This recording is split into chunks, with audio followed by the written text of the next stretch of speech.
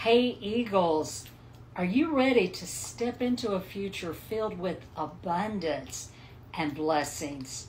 Join us for an extraordinary message that will unlock the power of God's prophetic promises in your life. Join me on September the 19th, next Tuesday at 7 p.m. Central Standard Time on Facebook and YouTube for a special live stream titled Embracing the Prophetic Promise, a Future of Abundance and Blessings.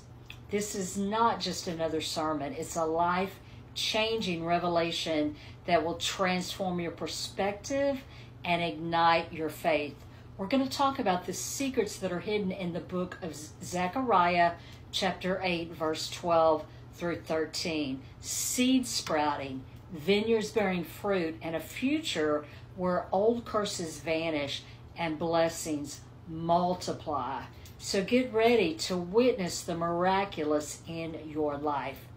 Imagine a life where you are a well watered garden flourishing with love, joy, and peace. It's time, my friend, to break free from chains and to embrace the freedom that God has destined for you.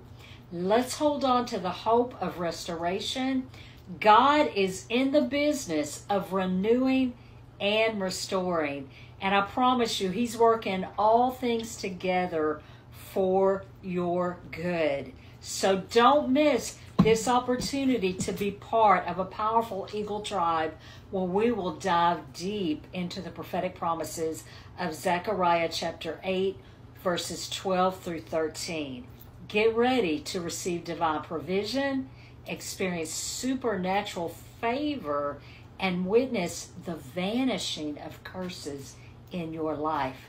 So mark your calendars and join us for embracing the prophetic promise of future of abundance and blessings. This is your chance to step into a future full of God's overflowing blessings. So don't miss out.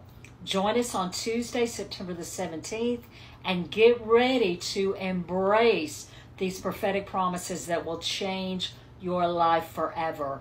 And if you have any email requests, send them to prophetdanareece at gmail.com.